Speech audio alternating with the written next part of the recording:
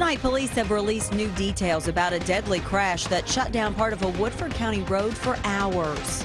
They claim to be cancer charities, but the Attorney General says they bilked donors in Kentucky out of millions of dollars. Lexington police say they now have a suspect for a robbery that left a man collecting donations for veterans injured.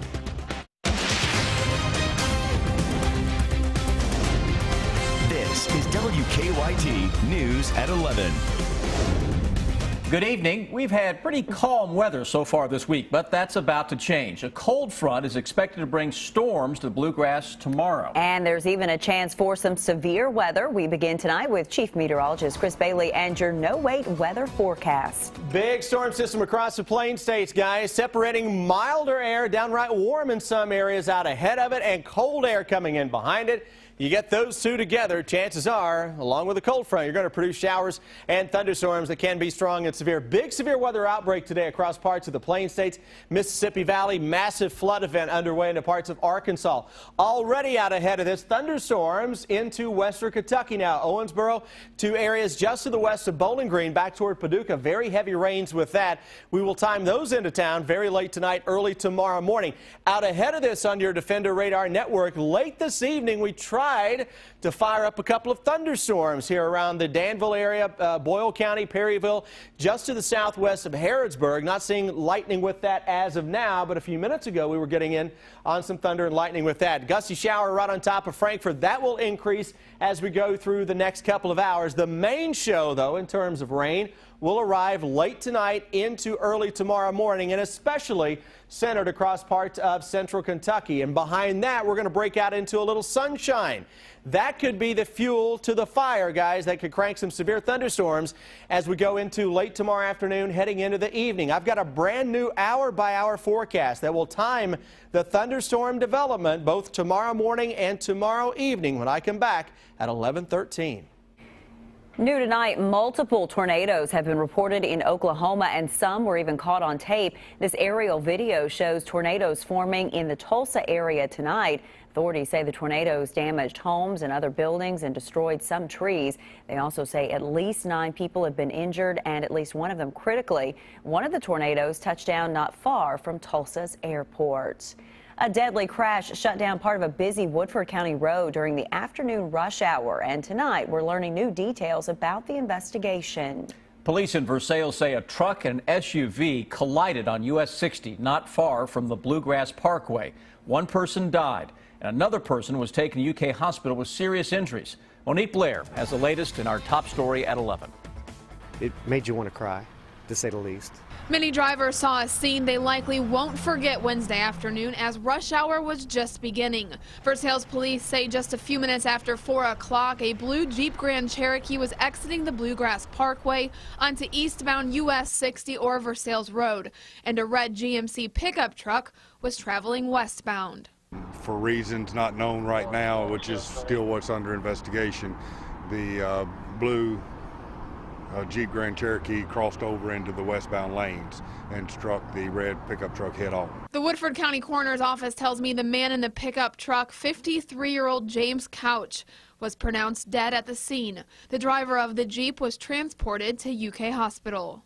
Now, both lanes of US 60 here at the Bluegrass Parkway were closed Wednesday evening from about 4 o'clock to 7 o'clock. Also, only one lane of eastbound traffic was moving during that same time frame. All of this causing a pretty significant traffic backup. Traffic stopped. And so then from there, just creeping forward, Fauna came around and saw just one of the most horrific sights I ever saw. Horrific, yet also to driver Kevin James, not something he's used to seeing on his daily commute. I travel that every day, and it's the first time I saw anything like that. It just blew my mind. In Woodford County, Monique Blair, WKYT. And we do not know the exact condition of the Jeep's driver tonight. Police are still investigating the crash. New tonight, Lexington police have named a suspect they say stole from disabled veterans. Police have obtained an arrest warrant for 38-year-old David Kirk Jr. He's now facing a robbery charge. Police say last Thursday, Kirk stole a donation jar from Veterans Outreach, whose members were collecting money outside the Walmart on New Circle Road. The jar had been bolted to the table, but police say Kirk grabbed the entire table with the jar still attached and put it in his truck. One of the men collecting donations was injured trying to stop him. They promised to use donations to help people battling cancer, but tonight investigators say four cancer charities operated by the same family were just shams. The Kentucky Attorney General says his office has joined other agencies around the country to settle claims against the charities and order them to pay back much of the money. As Garrett Wymer tells us new at 11, Kentuckians donated millions of dollars to these charities. The Attorney General says the leaders of four charities made money off Kentuckians' goodwill and generosity. Now a settlement shuts down Cancer Fund of America, Cancer Support Services, Children's Cancer Fund of America, and the Breast Cancer Society. Shutting down this group was critical, and it's just an example of how uh, people try to scam uh, people through what look like legitimate charities. Attorney General Andy Beshear says nearly 150,000 Kentuckians gave more than $3.5 million to the four charities, which turned out to be shams. The president and others were getting paid a lot of money. Uh, the people they employed were getting paid a lot of money. The only place where a lot of money wasn't going to was, was, was the charitable cause, was, was helping people uh, with cancer or, or cancer research. The Federal Trade Commission says between 2008 and 2012, the four charities raised more than $187 million in donations. Yet investigators say only about 2% of that money went to any sort of charitable aid. You feel betrayed. Uh, you feel taken advantage of when uh, people are giving their hard earned money, uh, trying to do some real good in the world. And I don't want people dissuaded from giving to charity. Beshear encourages folks to research charities before giving. At the Capitol in Frankfort, Garrett Wymer, WKYT. The Attorney General's website, as well as Charity Navigator, has tools to help you research charities before you give. You can find links to those resources on WKYT.com and the WKYT News app. Tonight, police are trying to track down the people responsible for what's being called a professional crime ring. The thieves target cars parked outside schools in Lexington and Franklin County. Police say that purses were stolen from Cassidy Elementary in Lexington, then checks from the purses were cashed at banks around central Kentucky.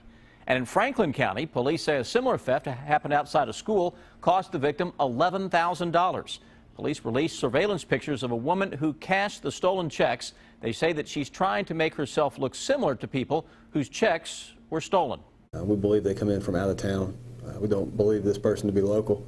So she's concealing her identity and traveling to different jurisdictions to commit these frauds. Police say they got the license plate of the car the woman was driving, but the plate had been stolen off a car in Oklahoma. The family of a Boyle County woman who disappeared more than 20 years ago hopes new evidence in the case will lead to answers. Annalee Manning disappeared in November of 1992. Yesterday, police searched a home near the Boyle-Lincoln County line and said they found evidence in the case. Manning's cousin told us they hope to find out what happened to her soon. Just finally. And I pray to God, pray to God with all my might that they they find something. The Boyle County Sheriff says examining the evidence found yesterday will take some time. A man who lives at the home didn't want to talk to us about the search. New tonight, Richmond police are looking for two people they say broke into a liquor store. Police released these two surveillance pictures of the suspects. Police say that last Thursday morning, the burglars broke in through a drive-through window at Monty's Liquor on Berea Road. And while the burglary set off an alarm, police say the suspects still managed to steal 21 cartons of cigarettes.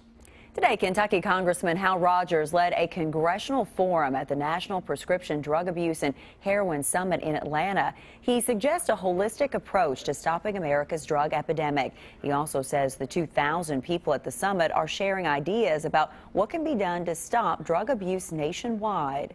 So it's an educational thing for the people that are involved in fighting abuse all around the country from different angles, learning and sharing together.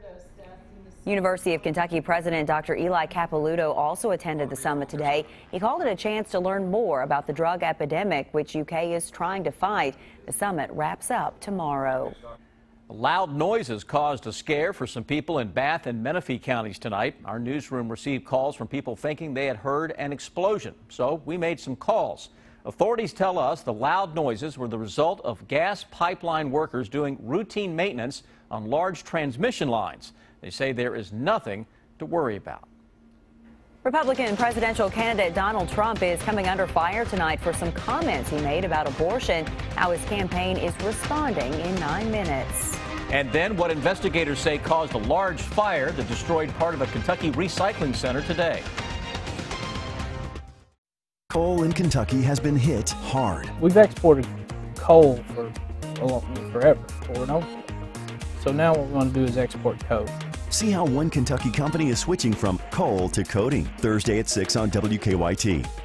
Kentucky mornings start here. Breaking and overnight news, weather to plan your day, plus traffic you can take with you. Make WKYT this morning part of your Kentucky morning. Weekdays from 4:30 to 7 on WKYT.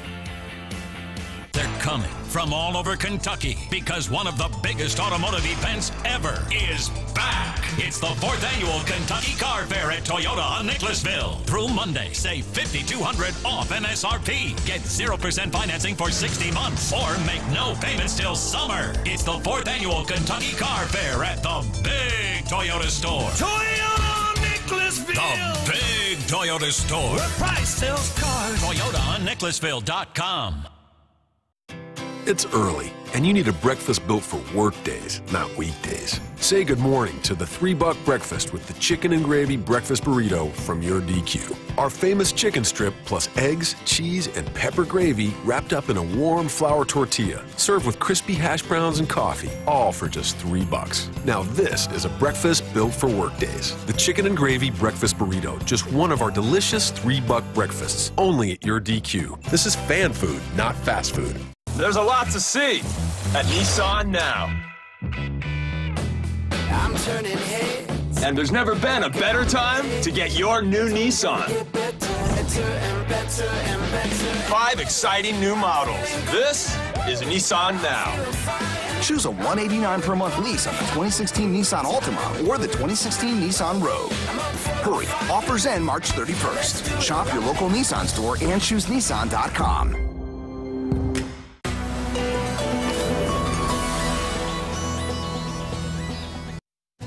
your hour by hour forecast with Chief Meteorologist Chris Bailey.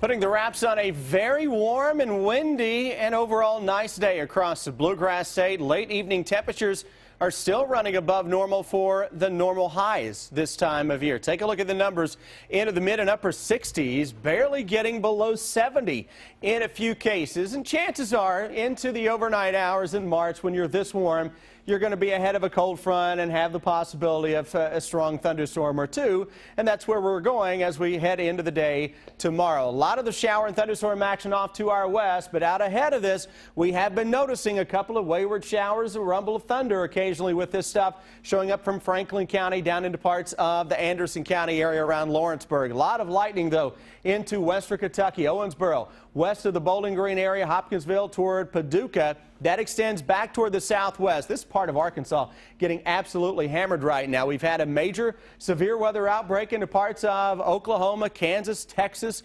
Louisiana, Arkansas, Mississippi. You were seeing some of that video off the top of the show. All of that courtesy of a major storm that is winding up across the plain states. What does that mean for us? This is going to be a big severe weather outbreak tomorrow. Right now, the odds say no. Can we get a strong thunderstorm or a couple of severe thunderstorms? That's a possibility. High winds tomorrow will be the main player with any shower thunderstorm that goes up. And even without thunderstorms, you may have winds tomorrow at times approaching 40 miles an hour. And especially tomorrow evening, that would be our best risk for some severe thunderstorms. We get some action in the morning a localized high water issue can't be ruled out in a setup like this. I'm watching that stuff to our west, and it's been overachieving in terms of rainfall, so we'll see if that's the case around here. I mentioned the gusty winds. Take a look at the numbers as we go through tonight into tomorrow morning. Numbers aren't as high as what this model was showing a little earlier, but still peaking the numbers around 40 to 45 miles an hour in a few areas as we go into the day tomorrow. Moral of the story, tomorrow is one of those days, both hands on the steering wheel, especially if you're in a high-profile vehicle, uh, both hands on the hat as well. Showers, thunderstorms creeping into the picture early tomorrow. Initial ban coming at us uh, between 7 o'clock in the morning and noontime. Eastern Kentucky may take into the early afternoon, but watch, uh, watch what happens to that initial line of showers and storms. Notice how it weakens as it makes its way through the area. You break out into at least a mix of sun and clouds tomorrow afternoon. Temperatures hit the upper 60s and low 70s. More sun you get tomorrow afternoon, better the chance for the atmosphere to kind of destabilize or rev up a little bit to give the evening thunderstorms a chance at becoming strong or severe. Now, are we going to get a big outbreak of severe weather? As I mentioned, that's probably not in the cards around here. Best chance would be to our west and southwest. Can we get severe weather? Yes, Micah will have the very latest coming up starting tomorrow morning at 4.30, and then we'll be with you if any storms do go up. Through Friday, chillier air comes on into town, and that takes us into the day on Saturday with temperatures only in the 30s to start out the day. Uh, with tomorrow's chance for some strong thunderstorms, don't want it to overshadow the green thumb alerts that we have out Saturday night into Sunday morning with 20s that will show up. Another shot of 20s Tuesday into Wednesday. I think another shot will follow that up by the end of next week. Moral of the story, we'll start the day tomorrow with some showers and thunderstorms, non-severe. If we are to get a severe thunderstorm or two, it's not a big outbreak right now that we're anticipating, but the best chance would be tomorrow evening. Just a bumpy day, sounds like Just a like bumpy for day and a very windy day at that. All right, good deal. Thank you. You bet. A company says it has some new opportunities for people looking for work in one eastern Kentucky county. More on that in seven minutes. Out of respect for your time and for your convenience, at Gates Hyundai, we've clearly marked the selling price on every new Hyundai in stock. At Gates Hyundai in Richmond, you don't need to negotiate. Come in, pick out a car, you can be out in no time at all. For one weekend only, the Lexington Center is transformed into the biggest home and gardening event of the year, the Central Kentucky Home and Garden Show. Find contractors, remodelers, kitchen and bath, flooring, landscaping and outdoor living. Discover the latest inventions and smart products in the new product zone. Learn painting tips and tricks from Brian Santos, the wall wizard, and meet Jeff Lewis, interior designer and star of Bravo's hit TV show, Flipping Out. Find it all at one amazing show, the Central Kentucky Home and Garden Show. Toyota South isn't the number one or number two volume Toyota store in the area. I'd like to be. My dad told me a long time ago, it's not the number of cars you sell, it's the number of satisfied customers you have that makes a difference. We're not in the big city, which means we just have to work harder. We have to keep our overhead low so we continue to sell new Toyotas for less. Choose Toyota South on the bypass in Richmond.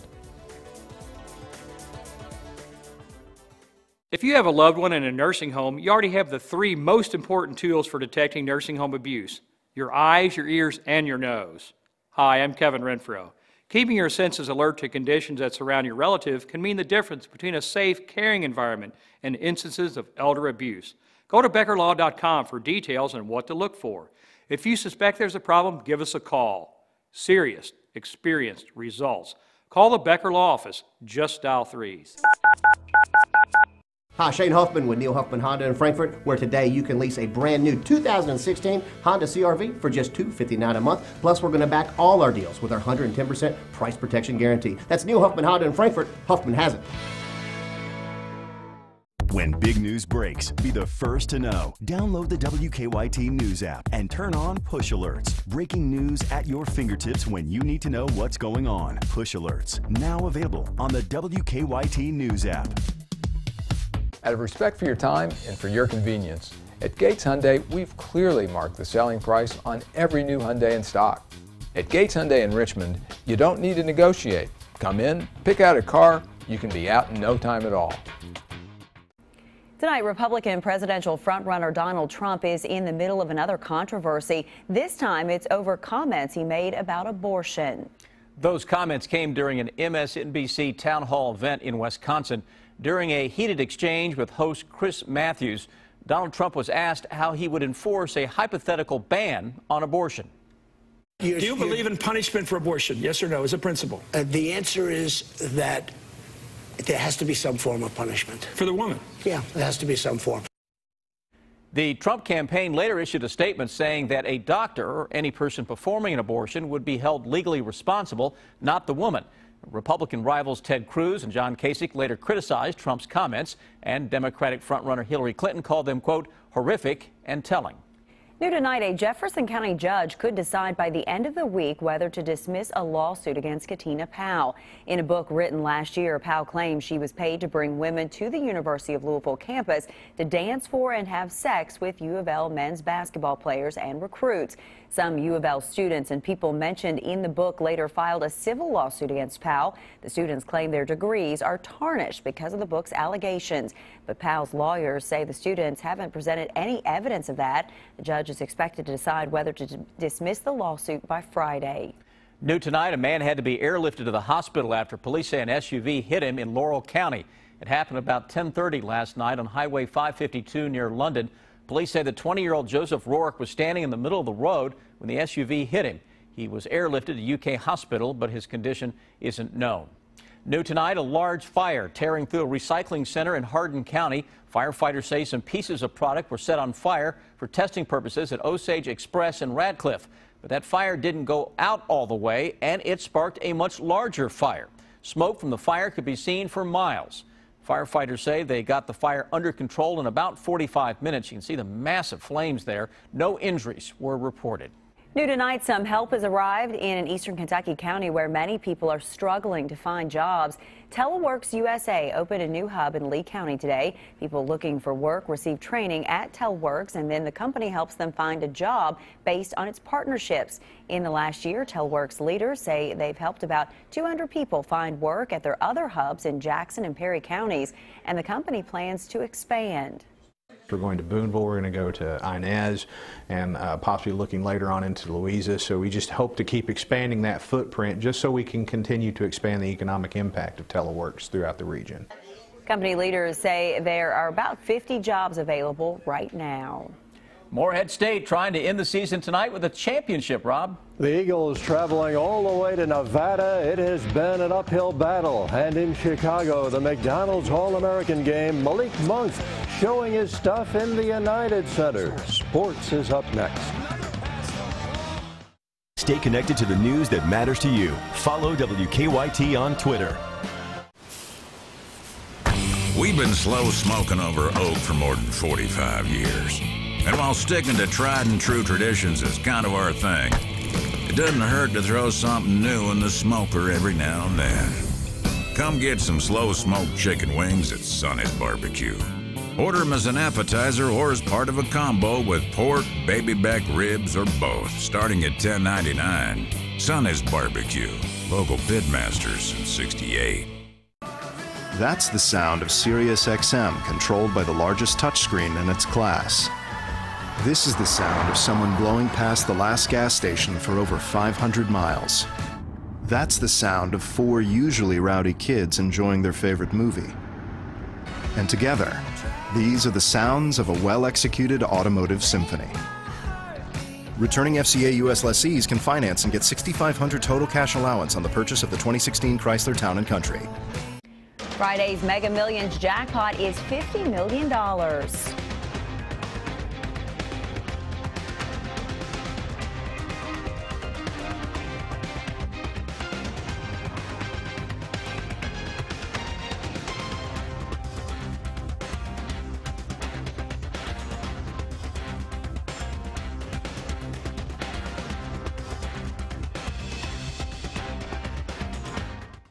Toyota's One for Everyone sales event is on now with great deals on your favorite Toyotas. But hurry, this event ends April 4th. Now get 0.9 financing for 72 months on Camry and Corolla plus $500 bonus cash. Toyota, let's go places. I love grocery shopping at Kroger, but sometimes life gets busy. So I use ClickList. It's easy. I just order online. And with thousands of great items and fresh food to choose from, I can get what I want the way I want it, then pick up my order at the store without ever leaving my car. and for me, that's a game changer. Order online, pick up curbside at store. We think you're gonna love ClickList. Try it now at Kroger.com slash ClickList. The all-new Big M Chrysler Dodge Jeep Ram is changing the automotive industry in central Kentucky forever. Introducing lifetime warranty. It doesn't end after 10 years. It doesn't end after 100,000 miles. And is available at no extra cost. 100% parts, 100% labor, zero deductible forever. Visit BigMSuperstore.com. Shop the area's largest selection of quality vehicles, all with a lifetime powertrain warranty. Only at the all-new Big M Chrysler Dodge Jeep Ram. Visit BigMSuperstore.com. The AFP has had its eye on her for quite some time. We were just waiting for the right moment to move in. The vibe was anything but playful. Go, go. We knew we had to move in fast, but there was a crowd, so we had to play it cool. This is where the years of training paid off. We got the scratch-off ticket to her in the nick of time. We're agents to play, man. People think this job is all fun and games, but we take our fun seriously. That's what being an agent of play is all about. Thank you. Just doing our job. Put a little play in your day with scratch-offs from the Kentucky Lottery. Fueling imagination, funding education. Toyota's One for Everyone sales event is on now with great deals on your favorite Toyotas. But hurry, this event ends April 4th. Now get 1.9% financing and up to 58 MPG on the all-new Toyota Prius. Toyota, let's go places.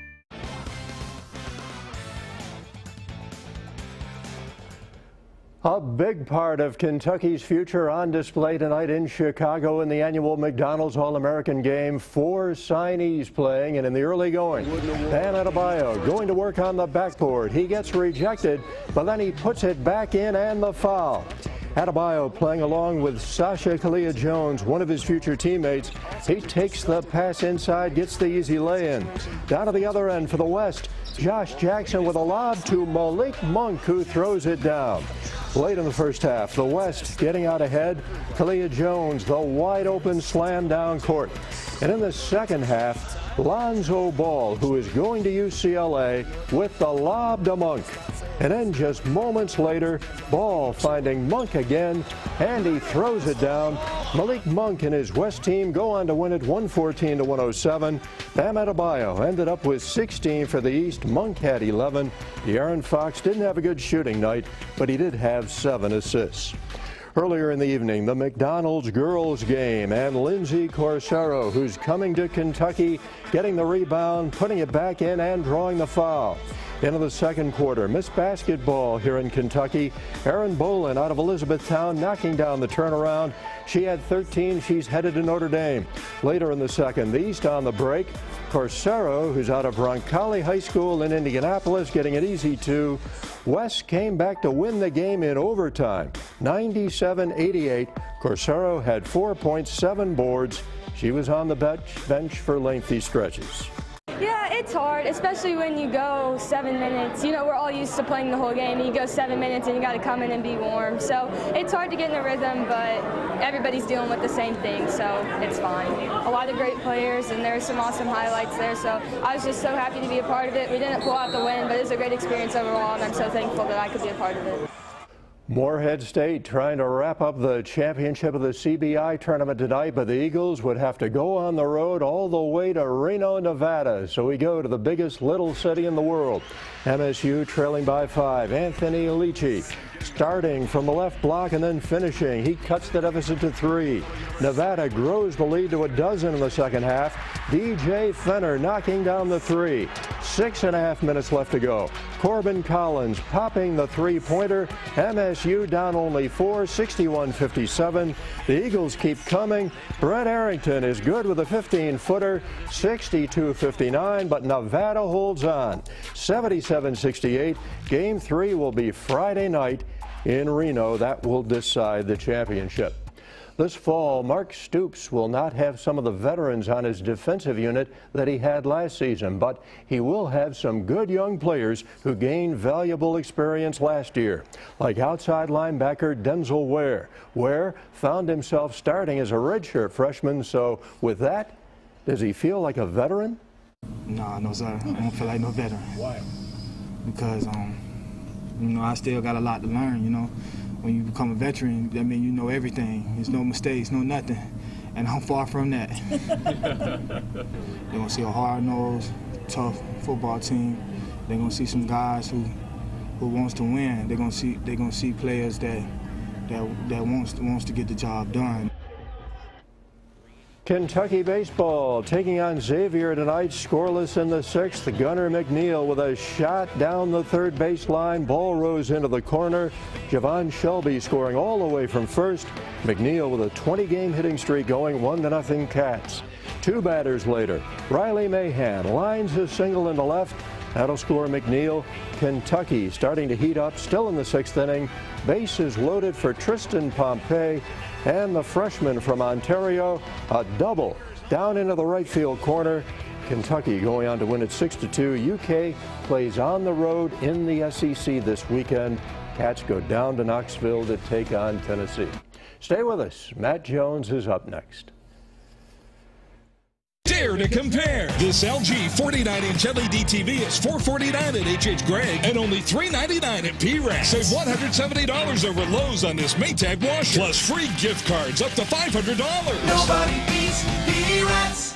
You may be entitled to $1,500 for each call you've received from any company collecting a debt. Seems too good to be true, but it's the law. Good morning, Jennifer. Hi, Ashley. It's great to see you. We love Ashley. She's one of our regulars. Fresh from the oven.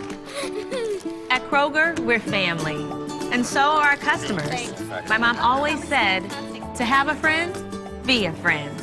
Come back soon, Ashley. You know we will. Red, white, or black seedless grapes are on sale for just $1.68 a pound. And red tomatoes on the vine or broccoli crowns are only 99 cents a pound at Kroger.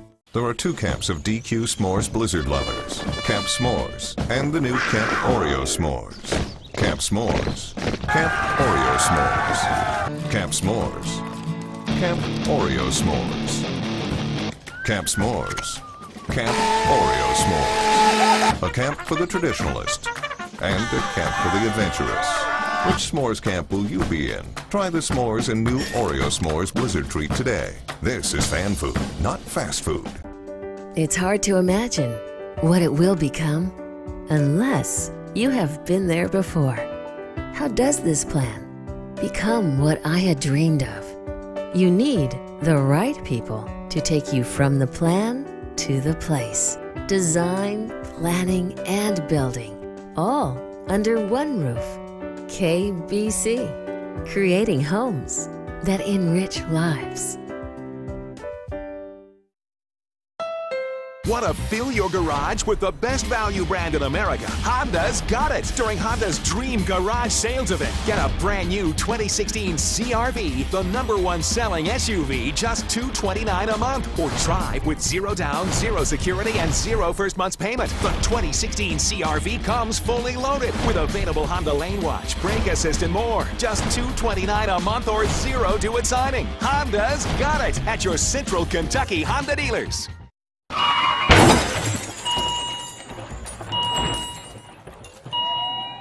Hitting someone at 35 miles per hour is like throwing them off a four story building.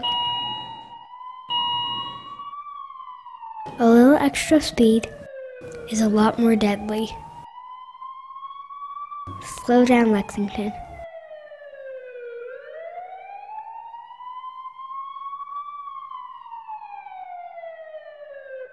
This Tempur-Pedic bundle with mattress, adjustable base, two memory foam pillows, mattress protector, and a free 50-inch TV. As low as $49 a month with the power of 60 months, zero interest. Nobody beats